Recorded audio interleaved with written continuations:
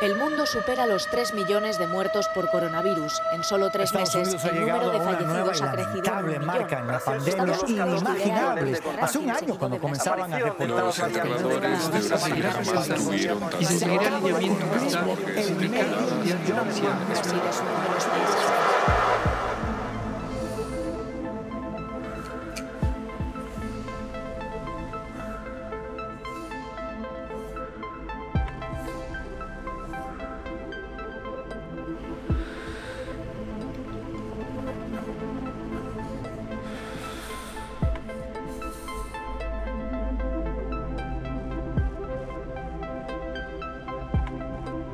何?